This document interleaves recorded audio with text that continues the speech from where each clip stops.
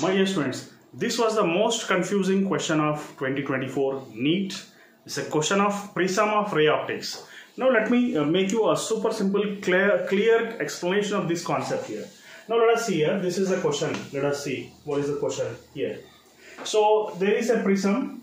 You can consider this a prism ABC. Okay. And light ray is entering into the prism. These are the normals drawn N1 and N2. So definitely these normals are making 90 degrees with these sides here. No. These are making 90 degrees. And in the problem it is given that it is 90 degrees here. This corner is 90 degrees. So I have taken it as 90 degrees here.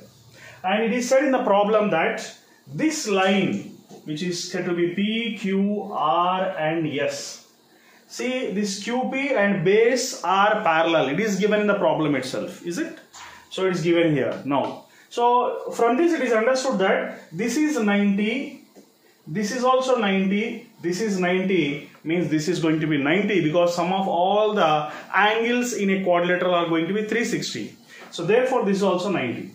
Now how are you going to create a super simple shortcut for this problem? Let me discuss about that. So to understand this one, first of all you have to apply the Snell's law for this side and that side also. So this is 90 means this is 90. Then what is this R? R can be considered as 90 minus C. Okay, because you all know R plus C plus 90 is equal to 180 degrees. This had to be sum of the angles in a triangle is going to be 180 degrees. So R plus C plus 90 is 180. That means R plus C is 180 minus 90 is again going to be 90. So R is nothing but 90 minus C. So R is nothing but 90 minus C. I am going to apply Snell's law here. So this is going to be 90 minus C. So if I apply the Snell's law in the first case, uh, this is theta and this is 90 minus C. Sine theta is equal to sine 90 minus C. Sine 90 minus C here. Therefore, mu is equal to sine theta by cos C here.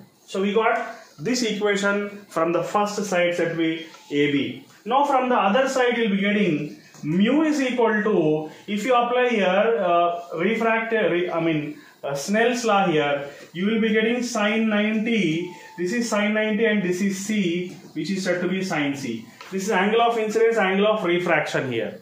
90 is incident refraction is said to be a C according to the concept of critical angle. So light ray is passing in this direction and grazing along the side AC. It is grazing according to the problem. Grazing means definitely with the normal it is making 90 degrees. Now I have applied the Snell's law in this case also. That means you will be getting how much?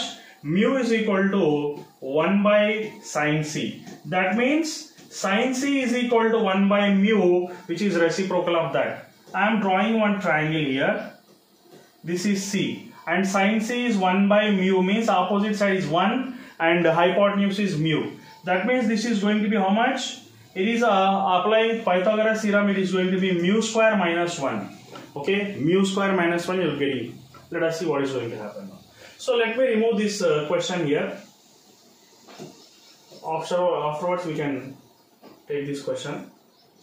So now here, this is getting now, we're getting two equations. Let us discuss about these two equations now. So mu means 1 by sine c and sine theta by cos c. Okay, we'll draw, uh, write the two equations now.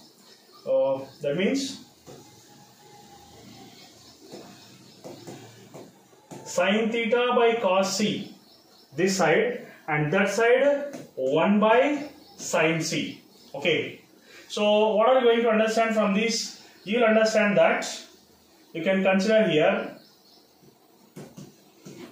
sine theta is equal to cos c by sine c. That means sine theta is equal to how much? It is going to be cot c.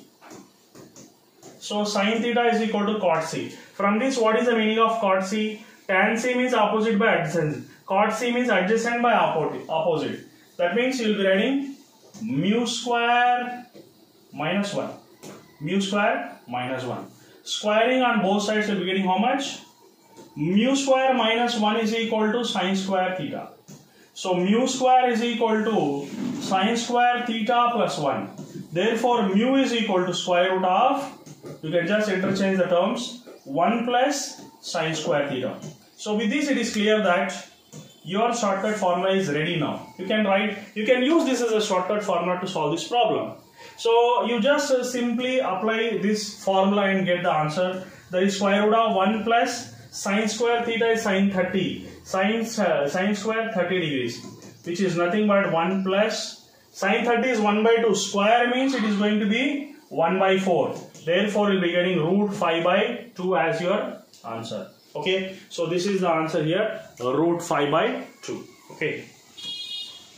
So root 5 by 2 is your answer. Because you'll be getting the simplification like this. 1 plus 1 by 4 which is root 5 by 4 uh, 2 uh, root 4 is nothing but 2 here. So finally getting this answer. Thank you very much. Have a nice day